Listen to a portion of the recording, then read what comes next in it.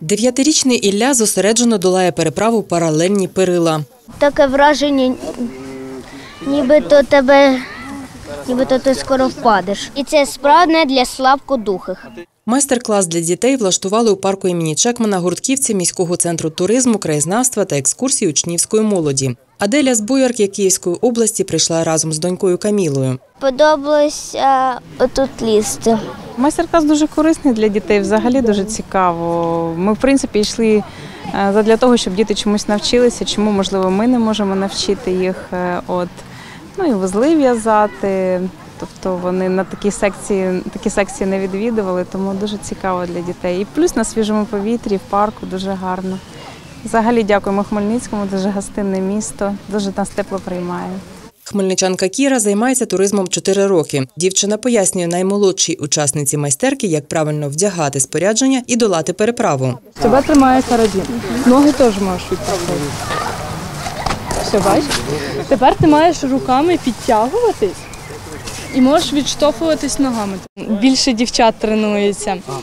Е, Хоча я б не сказала, що це прям е, ну, легко.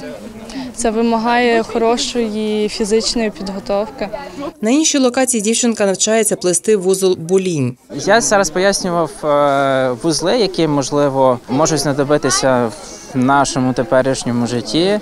Це може бути, наприклад, в будь-яких екстремальних ситуаціях.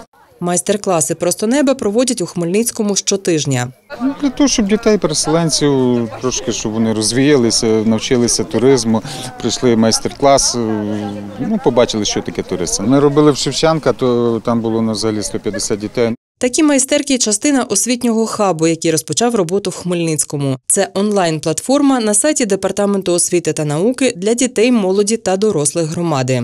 Є всі анонси, всі новинки.